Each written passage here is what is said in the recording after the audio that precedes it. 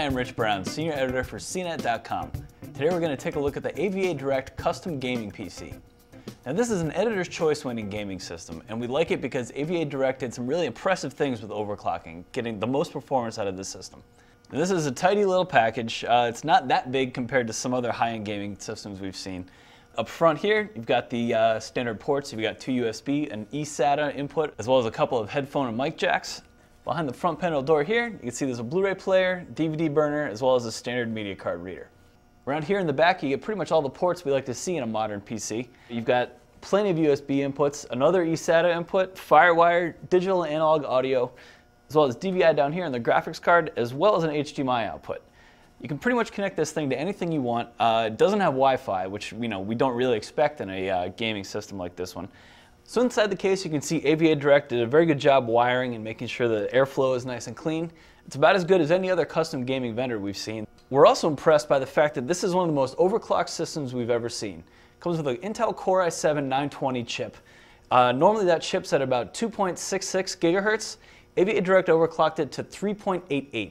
Uh, it's a gain of about 50%, and uh, it absolutely killed our benchmarks. We were a little bit nervous about that uh, aggressive overclocking, though, so we ran a few extra uh, stability tests. Uh, the system ran overnight with this, every CPU core uh, running at 100%, no crashes, no errors, and the CPU stayed nice and cool throughout the whole test. So we're pretty confident that AVA Direct knows what it's doing as far as overclocking. Now overclocking kind of varies. Not every chip, even among uh, certain models, are identical. So you won't necessarily see 3.88 from every Core i7 920 out there, including from AVA Direct. But we still do expect you should be able to get nice high overclocking uh, when you order it. It's a $100 uh, option. And the price is about $3,000. So, you know, it's a relatively high-end mainstream gaming config. Uh, you've got two hard drives here. One is a 1.5 terabyte uh, 7200 drive. The other one is a 300 gig 1500 RPM drive uh, from Fujitsu.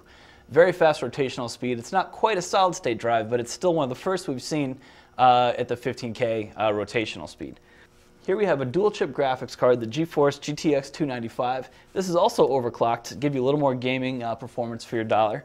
Down here you have a 1200 watt power supply as well as uh, two extra graphics card inputs on the motherboard. That means you can make this either a dual or triple card gaming system and the motherboard supports both Crossfire and SLI, so you have, pretty much have your choice of video cards. So this thing right here is actually part of the liquid cooling hardware. If the system was on, the display here would show the uh, system fan speed as well as the CPU temperature. Uh, so that's a nice little feature. So if you go to AVA Direct's website and you try to build a custom gaming PC like this one, you might find yourself a little bit intimidated if you're not tech savvy.